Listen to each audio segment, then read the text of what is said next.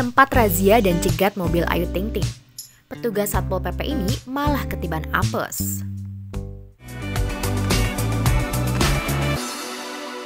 Nama pedangdut Ayu Ting Ting baru-baru ini ramai jadi bahan perbincangan usai fotonya tatkala terkena razia viral di media sosial. Mencuatnya foto wanita bernama asli Ayu Rosmalina tersebut saat dirazia dipicu gara-gara unggahan akun gosip di Instagram pada Sabtu 6 Februari 2021. Dalam unggahannya, akun tersebut memuat foto Ayu yang diunggah seseorang. Ya, dalam foto tersebut tampak jelas Ayu yang terkena razia tengah diarahkan oleh petugas. Sementara itu, melansir dari tribunnewsbogor.com, Terungkap, Ayu Ting Ting terkena razia tatkala dirinya baru keluar dari gerbang tol Bogor di Kelurahan Baranang Siang, Kecamatan Bogor, Kota Bogor, Sabtu 6 Februari 2021.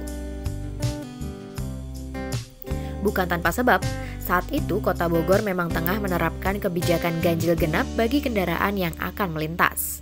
Dan saat kejadian bertepatan dengan tanggal genap, sehingga kendaraan yang berplat tak sesuai dilarang melintas.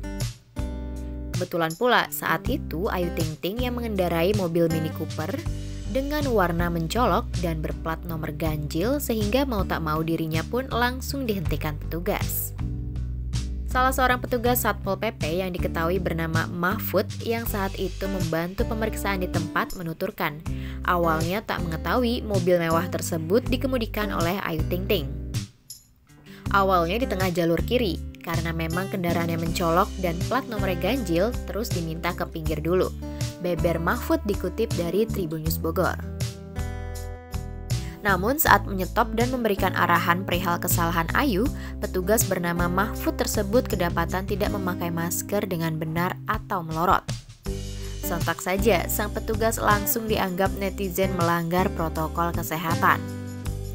Menanggapi hal tersebut, tepat pada hari itu juga sang petugas langsung mendapatkan hukuman berupa push up.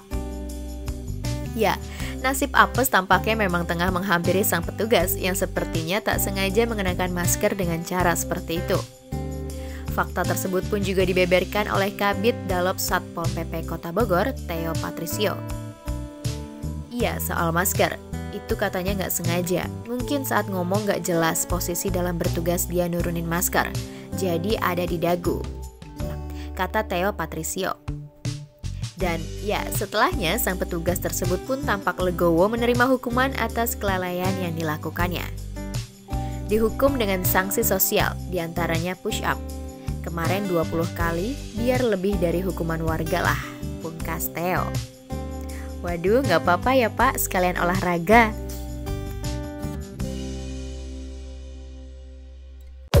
Terima kasih sudah menonton video ini. Jangan lupa subscribe dan aktifkan lonceng notifikasi supaya kamu nggak ketinggalan video terbaru dari Grid.